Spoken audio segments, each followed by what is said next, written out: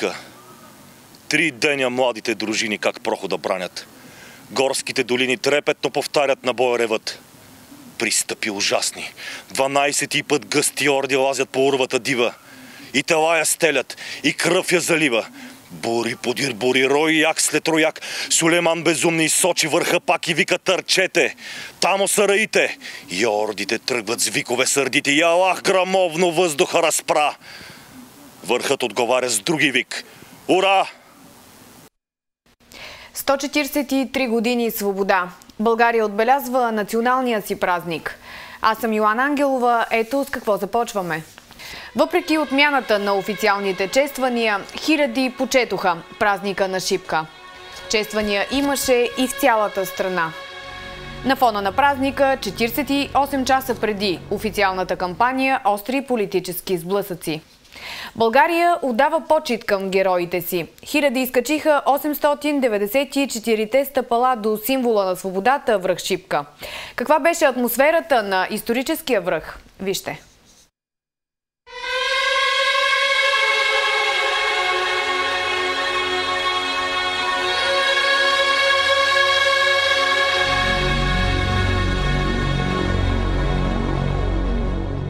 Още на изгрев слънце най-нетърпеливите се изкачиха до паметника на свободата на Шипка.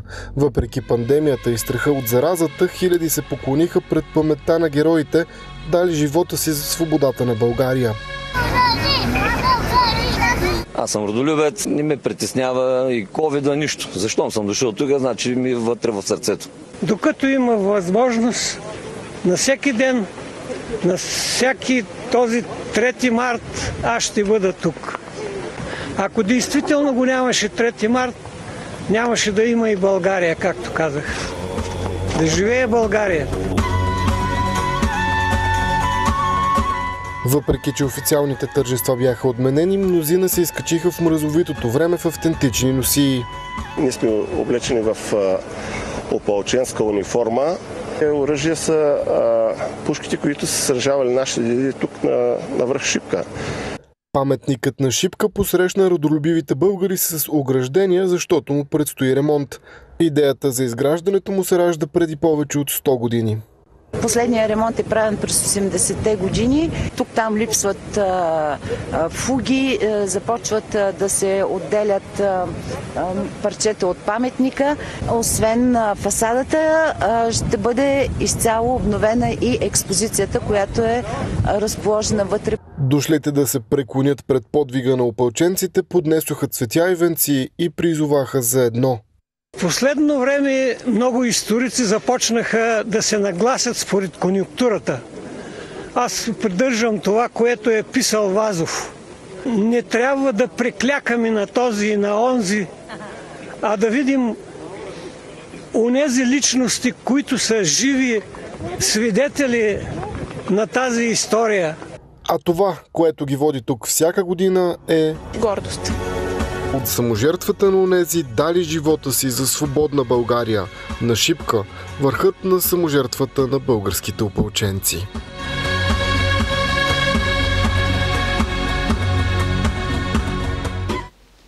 Остри политически престрелки и на националния празник 3 март. Само два дни преди началото на предизборната кампания, политиците отново влязоха в спор за противоепидемичните мерки и за начина по който се управлява държавата. И на 3 март политиците не успяха да загърбят различията си. Празничните думи бяха заглушени от откровени нападки. Държествата на Шипка са под патронажа на председателя на Народното събрание. А това, че президента иска да дойде днес тук и да чете слово си е негов проблем. Не е важно а, да четеш помпозни слова. Важно е какво чувстваш. Властта отново се опита да постави под карантина националната ни памет. Но хората имат достоинство и отново са тук. Българите имат святи чувства, неподвластни на страх и забрани. Факта, е, че тези, които го коментират, са там където искат. Никой не има нито забраня, нито ги спрял. Просто такива лъжци, такива манипулатори. Започнала под връх Шипка, политическата престрелка отекна и в София. Днес един, надявам се, последен мандат председател на Народното събрание си позволи точно от върха на свободата да ни каже, че трябва да си затваряме устата. Няма кой да забрани силата на словото. Въпросът е на 3 март. Задаваме ли си въпроса кой е днешният национален идеал на българите? Има ли такъв? Култивиран ли е? Възпитан ли е през образователната система? Нека тези 143 години като лента да не минат през съзнанието и да дадем една оценка на състоянието, в което се намираме. Днес имаме нужда от този дух, защото много страхове отнемат от силата. Нека да се обединим, да ги преодолеем, заедно да подадем ръка на слабите, на оплашените. До официалното начало на предизборната кампания остават 48 часа. Чествания имаше и в цялата страна. Хиляди почетоха паметта на загиналите по централните площади. Още за атмосферата от празника сега. Подполковник, Очния карал в случай 3 март и 143 години от освобождението на България е построен. Площадът в Русе днес си припомни позабравеното чувство от тропота на стотици стъпки. Криза или не, нищо не успя да спре русенци от това да почетат свободата. Нека помним, че свободата се е завоюва с оръжие, но се пази с дух. Не бива да си позволяваме примирие и да приемаме свободата за даденост, тъй като отстояването на позиция и достоинство е въпрос преди всичко на лична отговорност. С знамена, венци и вълнение русенци се поклониха пред памета на героите, благодарение на които днес се наричаме свободни.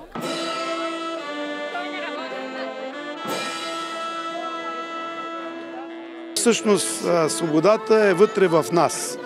И ако ние не зачитаме собствена свобода, никаква армия не може да опази а, нашето вътрешно усещане.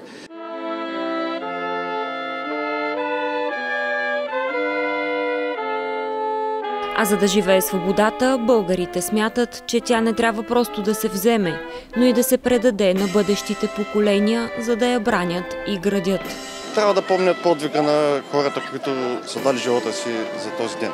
Да бъдат честни, да бъдат трудолюбиви, да бъдат отговорни към всичко, с което се занимават. В Търново честванията започнаха с издигане на три багреника пред сградата на общината. Традиционно там бе проведен и военен ритуал.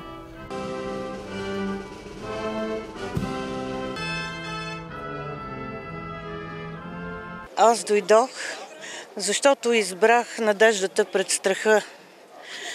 А, също така, мисля, че е дошло времето, в което да напишем нашата по-добра история. На този ден сме се появили като държава или поне сме дали заявка, че можем да бъдем държава. И който не помни историята си, е осъден да я преживее отново. Във Варна също поднесоха венци, а почетният караул премина тържествено през площад Независимост. В морската столица над хиляда мотористи преминаха по централните булеварди, като тази година шествието беше под надслов в името на България. Всички българи, всички, които се чувстваме българи, трябва да сме съпричастни по някакъв начин. Трябва да почитиме всички хора, които са дали живота и свободата си. А малко по-късно не се ще отбележи освобождението по нетрадиционен начин с дрон шоу. А, винаги най-добрите иновации световни са реализирани за първи път в последните 10 години в Несевър. И поради тази причина решихме да подарим едно прекрасно шоу на Несевър за националния празник на България. 3 март бе отбелязан и от българските общности в редица държави. Така, например, българско училище в Калифорния чества празника с хоро.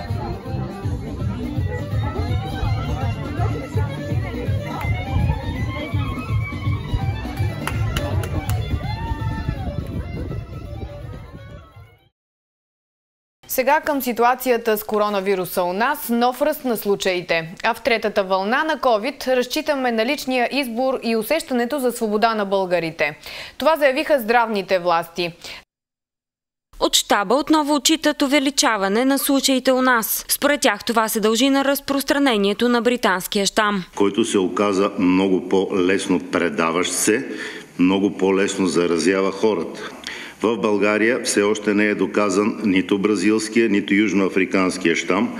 Доказва се само британския. Министър Ангелов отбеляза, че натиск върху здравната система не се очаква, тъй като е увеличен броят на болничните легла. Към момента ситуацията е под контрол. Очакваме нови дози вакцина най-рано в България на 8 или 9 март, с което ще задоволим потребностите на българските граждани и ще увеличим хода на вакцинацията в страната.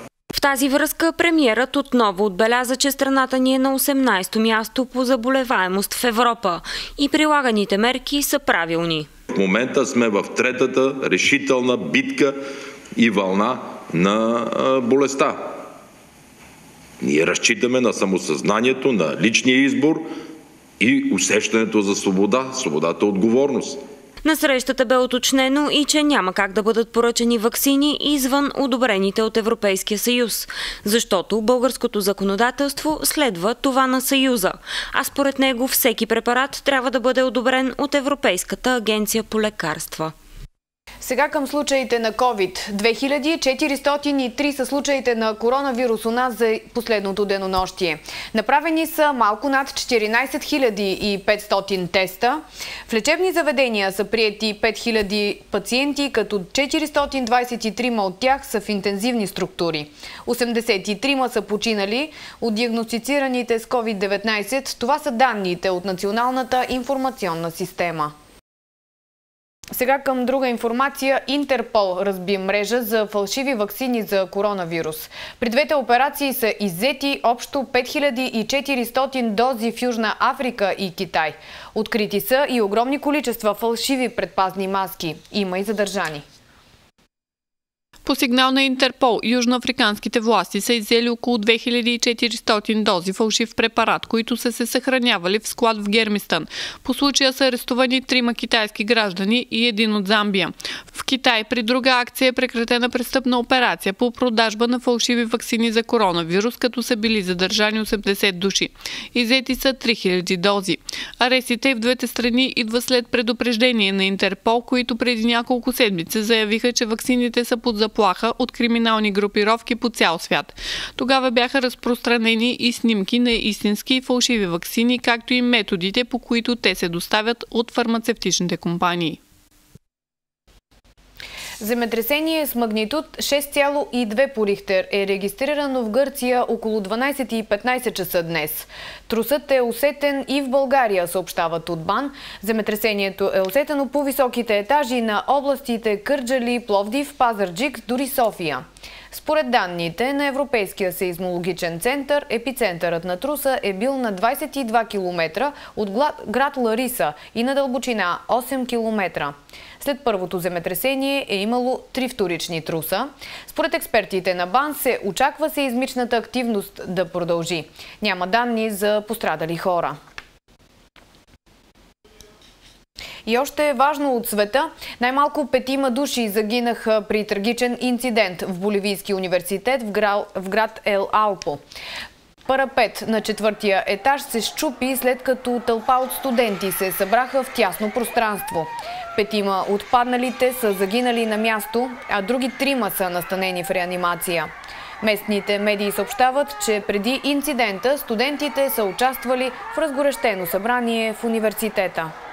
Отново към атмосферата на празника у нас. Споменът за героични събития, реликви, паметни знаци в Свищовско от времето на руско-турската освободителна война е вечен. Първото освободено село е Царевец, а в малката къща в селцето на Горна Студена е главната квартира на Дунавската армия, където пребивава руският император Александър II. От тук се командват стратегически трите фронта на войната.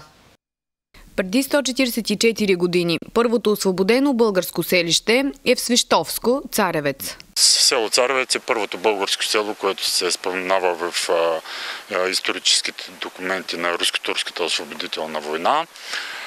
Потвърждение за това е свещеното Евангелие, което е подарено от штаб с капитан Фок, подарено на жителите на село Царевец. То е намерено в църквата Света Троица в селото.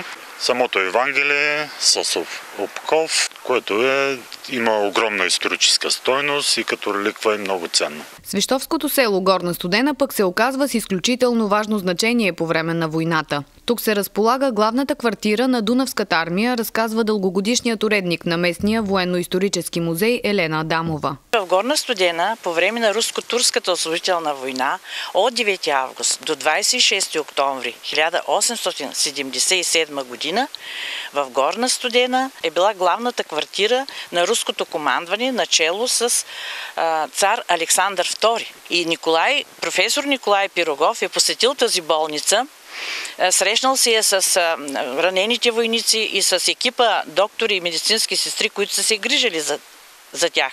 От Горна Студена се командват трите фронта на войната – източен, западен и южен. В селото има военно-полева болница, където се лекуват ранените войници и офицери. Втория път е посетил болницата професора през октомври, началото на октомври, но за съжаление тогава той е намерил страшна, страш, страшно огнище на тази заразна болест ТИФ, от която са умирали войниците. Значи повече войници и офицери са умрели не от раните си, а от тази болест. 25 години след края на войната, по идея на Стоян Заимов, къщата в Горна Студена е превърната в военно-исторически музей. Военно-историческият музей в Горна Студена е открит на 4 септември през 1907 година и е създаден по идея на Стоян Заимов. По време на откриването на музея са били пристигнали синът на императора Владимир Александрович с съпругата си генерал Столетов и Стоян Заимов. И до ден днешен в музея се пази венецът, който е подарен при откриването на музея. В експозицията на музея са изложени автентични снаражения, две военни униформи от преди 144 години, снимки и гравюри на бойните действия. Литературни пейки с формата на книги зарадваха русенци на националния празник. Те са поставени в централната част на града. Върху техните повърхности са изписани моменти от автобиографии или цитати на емблематични за българската история личности.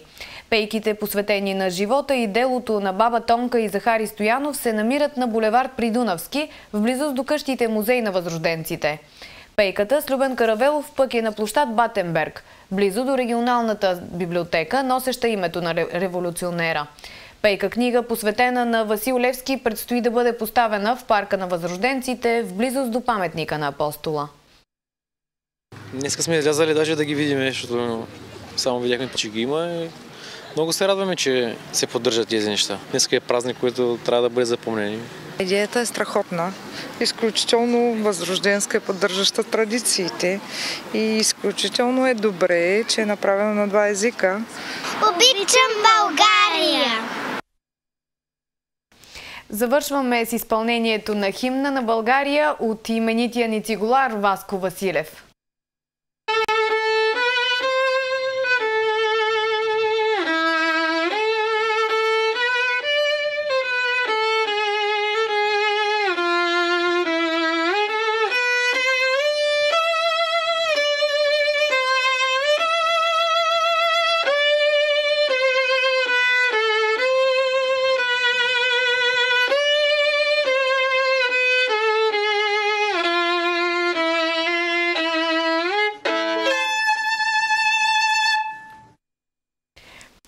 Останете с новините от Уебзона и Криси Борисова.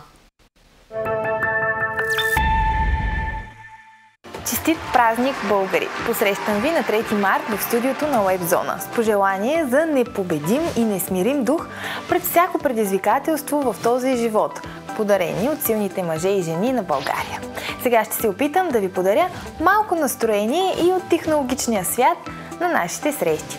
Чухте ли, че японски милиардер набира екип от 8 души, които да летят до Луната на борда на космическия кораб на SpaceX?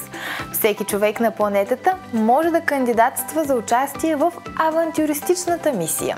Юсако Маедзава се очертава като първият космически турист, а друга група хора ще сподели неговото пътешествие. Милиардерът обещава да поеме всички разходи на своите спътници, а заявление на кандидатите вече се приемат. Ако искате да опитате и вие, е нужно да отговаряте на две изисквания.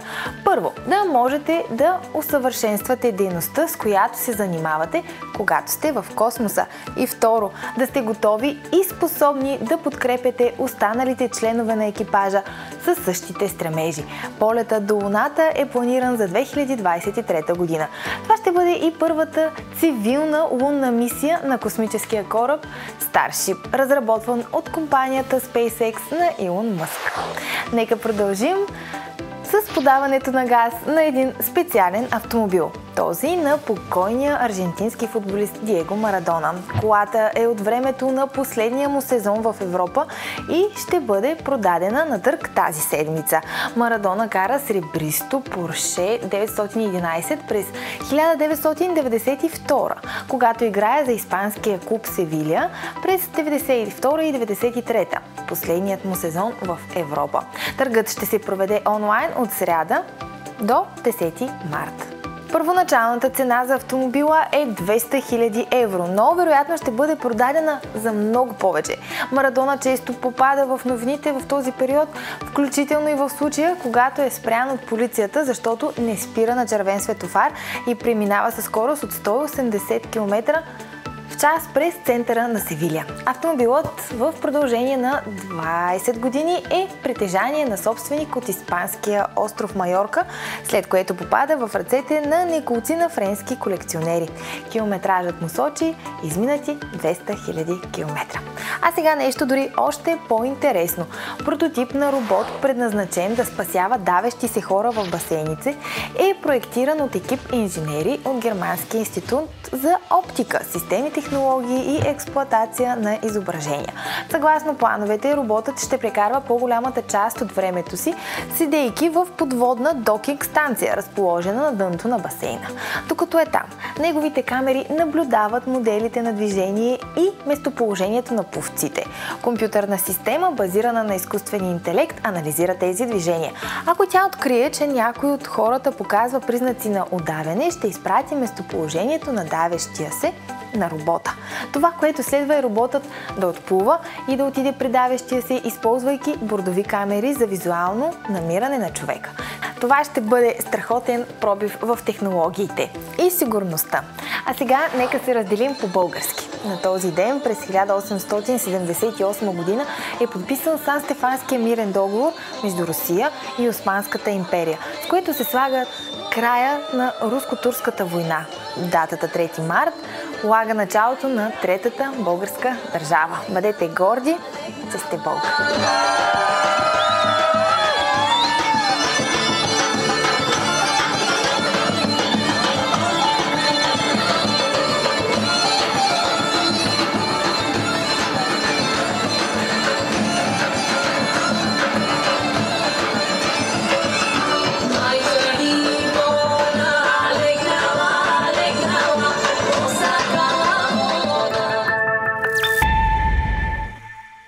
Така се разделяме. Останете с прогнозата за времето и Стиляна Саманджиева. Аз ви пожелавам хубава вечер.